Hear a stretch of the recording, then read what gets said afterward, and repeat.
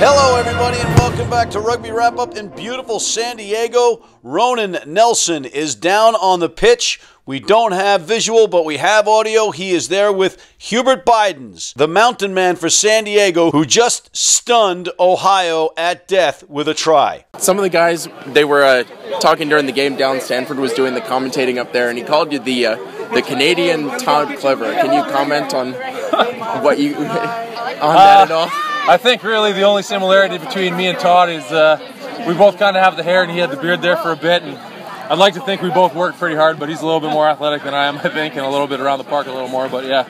And what were the keys for you guys winning that match today? Because that, that was a doozy. You know, I think we concentrated on our defense all uh, all week, really shutting down their key guys, and I think I think we did a pretty good job of that. And then just hard at the end, you know, like not giving up until until we won it.